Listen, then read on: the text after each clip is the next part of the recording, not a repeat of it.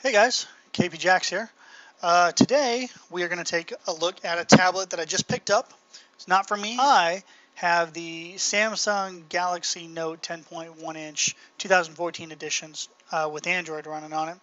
Um, the tablet I've got today is actually the Insignia Windows 8 uh, Wi-Fi tablet. And I know people, you know, Windows 8, oh, Microsoft doesn't belong on a tablet. They're they're getting there. They're they're coming along. Um, but the reason I got this, uh, not for me, uh, someone close to me has been wanting a tablet. Um, Gave them my tablet. A little bit of a learning curve going from strictly Windows for you know forever to um, you know Linux, Unix, Android platform. Didn't really figure it out. So I figured since they've already been using Windows for a while, um, there are several different products out there of Microsoft tablets made by HP or Insignia or whatever that won't break the bank. What do I mean by that? This tablet that I got was on sale. 100 bucks. It was on sale two weeks ago for like $70 and I missed it. So I figured before, you know, it went back up again, I'd get it. It'll probably be on sale for $50 after Christmas. Whatever. That's right. I said Christmas on the internet. Oh no.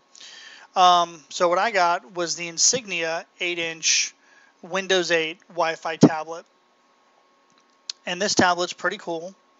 It's pretty slick, pretty quick, responds, boots up in about 10 seconds. And I know my Android uh, tablet takes longer than that.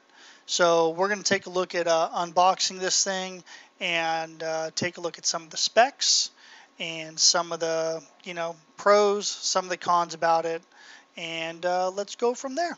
So let's take a look at what's in the box. So there's not much to the box, but you can tell just by looking at it. Um, pretty basic. Windows 8 tablet, made by Insignia.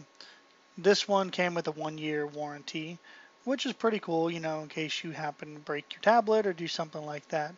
Uh, it's got Windows 8.1. It's got an 8-inch display that's 1280 by 800.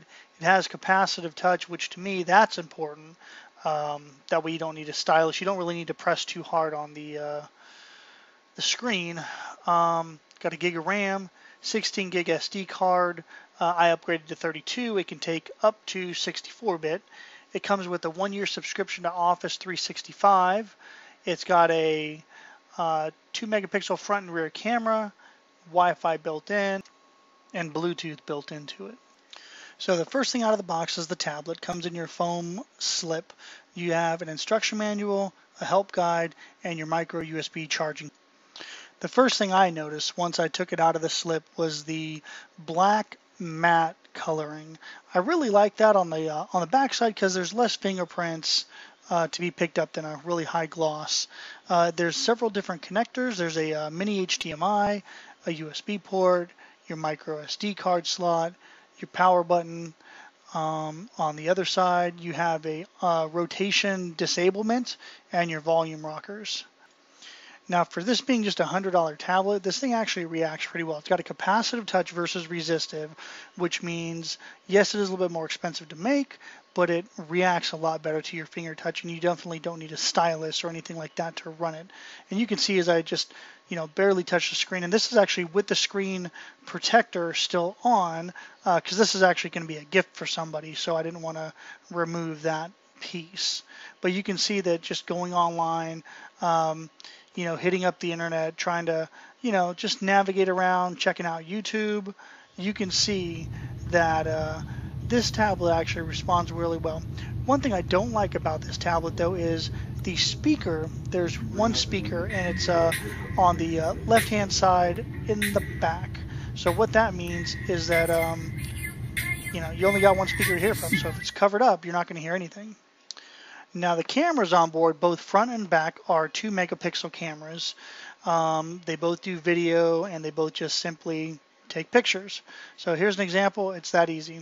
Click it, snap, hit video. Uh, I do like the counter down in the bottom left, um, especially the big numbers, whereas um, different things like cell phones or other tablets, the recording numbers are very small and sometimes harder to see.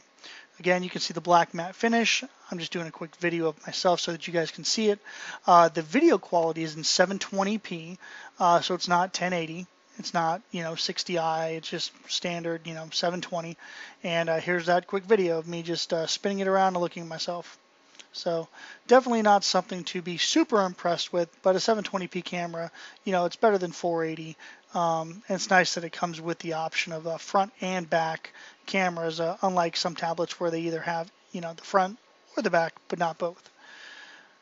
Um, the specs of this tablet are uh, you know one gig of RAM and it comes with a this tablet actually came with a 16 gig SD card. So I upgraded it to a 32 gig SD card. It can upgrade to a 64 gig SD card if you want to. The boot up time on this is phenomenal. From the start of the push button uh, to full boot up and ready to use was you know 10 seconds from zero to login, which is amazing. Even my home solid state drive doesn't do that. And then the power off, which you'll see here in just a second, is just as quick. You know, I held the power button, it comes down, swipe it down, within a few seconds it shut off. Now, I do like the feature that they have on here that some tablets don't have, not even all cell phones have it, uh, but it's a great feature, is when you plug it in to charge it, a little light comes on that says, hey, I'm charging. And you can see that it's charging. Right, guys, so that is the Insignia Windows 8 8-inch Wi-Fi tablet. So some pros and cons. What I do and don't like about this. Some cons. It runs Windows 8. I prefer Windows 7. Um, but you know I'm an Android user and I'm just not. I, I don't think Windows 8 should be on a on a mobile device. Not yet, but they're getting better. Um, one gig of RAM, they easily could have added another gig or two or four. Um, there's not much onboard space. Uh, the one speaker in the back is not great quality at all as far as sound goes. Um, and it seems like they almost have interchangeable parts. There's a spot on the back of the tablet um, that it almost looks like a uh, part that can be replaced you know, maybe for another tablet, maybe it's the same body um, as an HP tablet or as an Asus tablet or, you know, some other tablet like that. So that's why I really don't like that. Some pros, um, some pros, it's a small tablet. You know, I carry a, a 10.1 tablet every day with me and uh, it weighs a pound by itself. With my OtterBox, it weighs two pounds, so it gets a little bit heavy. The 8-inch tablet, it fits in one hand, doesn't take both hands to really uh, do anything with it unless, of course, you're you know watching a movie or typing something like that. Uh, you can expand it up to 64 gigs, which is great. Um, that you know Windows offers that. Uh, lot, they could have gone even cheaper for 100 bucks. They could have said, you know, here's a tablet with you know 16 gigs of onboard space. Windows is going to take half of it, and you're out of luck. Um, there's no learning curve really for today's users. Uh, Windows 8 is Windows 8. You know, Windows 8 on a PC is Windows 8 on a tablet, which is great. Um, it can run full HD videos, which is great also. So you don't have to worry about you know losing the quality of your your MP4, your AVI files. Um, if you want to hook it up to an external monitor, you can do that too. Uh, you can do it through the uh, micro HDMI cable, or it also has a wireless monitor option. So I'm guessing you could probably stream it to your smart TV. I didn't try that. Uh, the battery life seems to be pretty good on it. I let it run, you know, all day, and it didn't uh, you know the battery life didn't die. It's got a 10 point touchscreen, which means you can have up to 10 points of active touching on it in case you want to drag and drop or pinch and move and grow or right click that kind of thing. Um, it can hook up to uh, external USB drive. So if you carry a USB drive like I do, everywhere, um, and you need to get data off of it, all you need is a, an adapter, which is basically a USB to micro USB adapter, and plug it in, and boom, now you even have more space. So I carry a 64 gig USB drive with me everywhere. Um, it's easily now plug it in, and now I have a 90 gig drive, you know. Um, and the the one thing that I really do like about this is the pricing. It's a hundred bucks. I mean, you're not going to find an iPad for that. Um, even a brand new, well, not a brand new one, even an old iPad, an old iPad 2 sells for over 200 bucks. You know, um, a really nice Android tablet is three, four, five hundred dollars. The iPad, the new iPad, you know, five, six hundred dollars. Um, same thing for cell phones. So if you're looking for something that does basic stuff, is a great starter tablet, mid-grade quality in my opinion. Um, can do Word, uh, PowerPoint, Excel, those things becomes because it comes with Office 365. This is a great buy for you. If you don't like any of that, well, it's too bad. That's my review. I think it's a pretty great tablet for the price and the quality seems pretty good. I know that the receiver is going to enjoy it. So that's my take on it.